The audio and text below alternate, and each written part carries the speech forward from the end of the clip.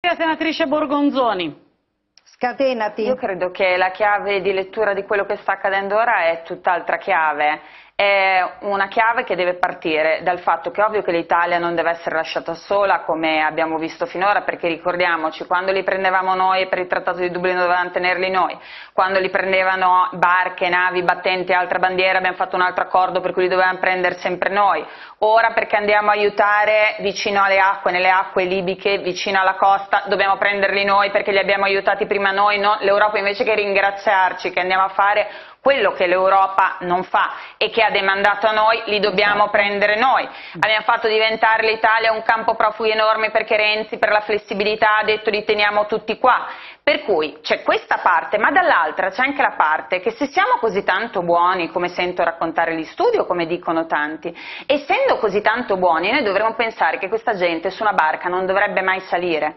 Dobbiamo iniziare a mettere in campo delle politiche che le persone che realmente oh, hanno bisogno e devono essere aiutate, quelle perché è inutile far venire qua tutti nel nome sì, di siamo tanti buoni e poi farli finire no, ma diciamo, voglio finire una cosa, poi farli eh, io sento Santo male, finisco questo, questo, concetto. Poi far rifinire nelle nostre strade a chiedere l'elemosina o a in mano ai mafiosi di turno di una o di un'altra città a spacciare. Questo non è essere buoni. Noi dobbiamo darci un limite, c'è un tetto. In Italia non si sta bene ora? No. Non ci sono i soldi per tutti? No. Non possiamo aiutare chiunque, anche chi è un migrante che di fatto non fugge da persecuzione e guerra? No, non possiamo, perché non possiamo permettercelo. E quelli che facciamo venire qua li dobbiamo trattare di dignitosamente, quella traversata non la devono fare. Per riuscire a raggiungere questo scopo, che è per noi e per loro, l'unico modo è scuotere un'Europa che in questo caso verrà scossa e la discussione verrà finalmente portata a un tavolo. Eh, se lei vivesse, se tutta la sua famiglia vivesse con una capra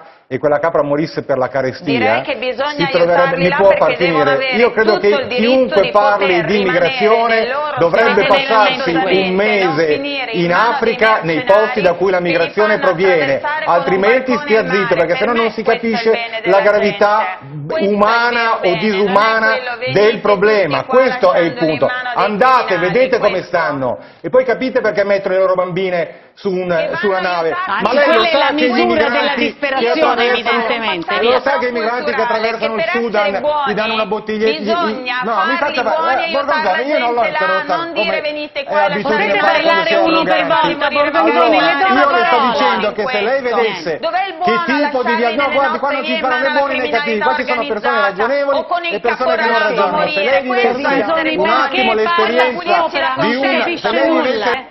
Il premier maltese sostiene che l'Italia ha infranto le regole internazionali. Regole internazionali. sicuramente, sicuramente il premier maltese ci sta anche che sia così tanto agitato, definiamolo così, per il fatto che se verranno riviste comunque tutta la gestione legata all'immigrazione, visto che finora andavamo a prenderli più o meno nelle coste libiche e li portavamo da noi, anche se prima c'era il supporto, magari ha paura che possa cambiare qualcosa e i suoi interessi nazionali che giustamente in uh, quanto eletto dal popolo di Malta magari tiene e mm. cerca di tutelare in tutti i modi. Io vorrei dire però anche che mi fa specie come il Partito Democratico sia così sensibile alla forma quando si parla degli altri e lo sia stato poco verso tutti i suoi eh, ministri o quando c'era Renzi. Io ritengo che Salvini stia facendo insieme a altri ministri grande, un grande forse cambio, sì, è un modo di politica diverso da quello che